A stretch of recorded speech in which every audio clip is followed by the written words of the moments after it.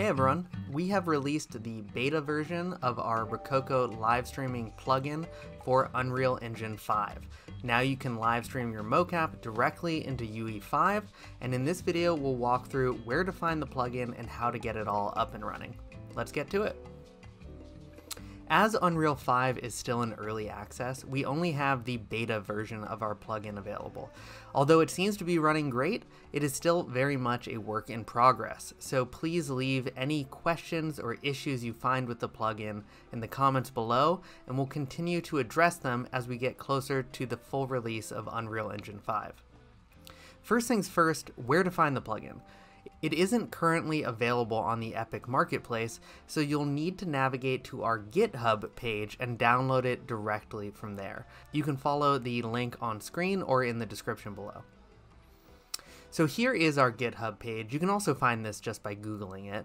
And you can see that we're on the master branch. So this is the stable plugin.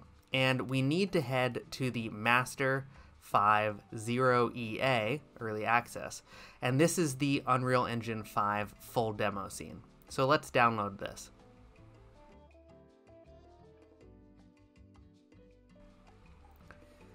So here's the folder you'll get after you unzip the downloaded project file. So we could open up the whole project, but what we really want is in this plugins folder. This Smart Suit folder is the Rokoko plugin.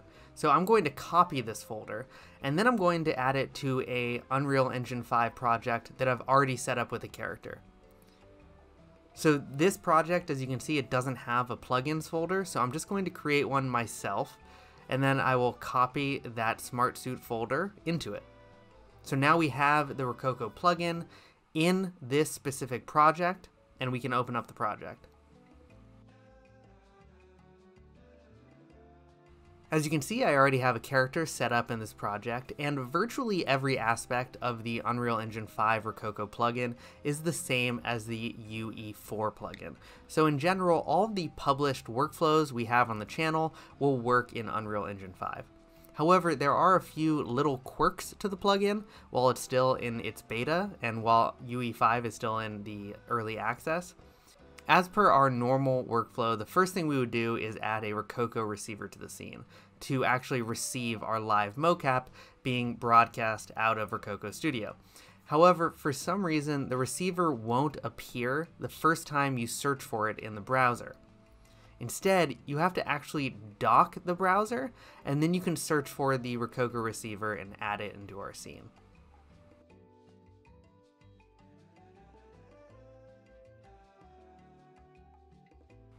Next, we would normally open up LiveLink and turn on the Rokoko Studio source.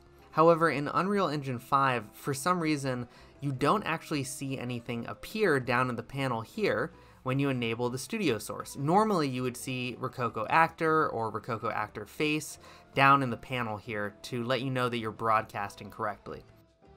However, if we hit play, you can see that they do now appear in the live link panel. So for now, if you don't actually see your actors appearing in this panel, don't worry, they will be enabled when you actually hit play.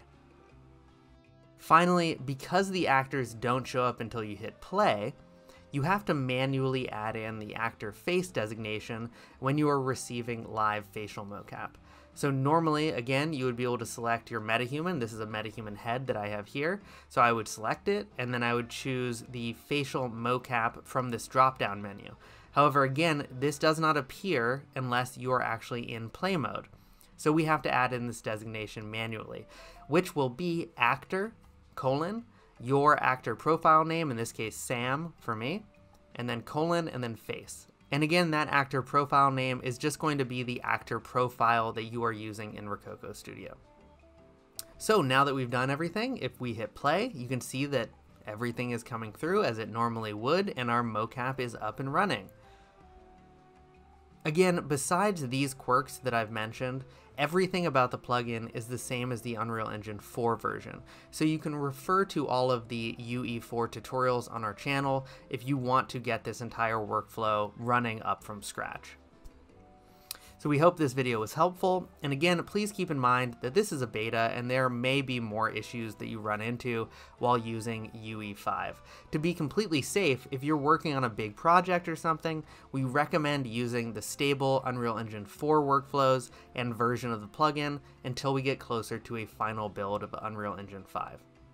At that point, we'll have something officially published on the Epic Marketplace that you'll be able to download like a normal plugin. Thanks everyone, and stay tuned for more Unreal Engine 5 content coming soon. See ya!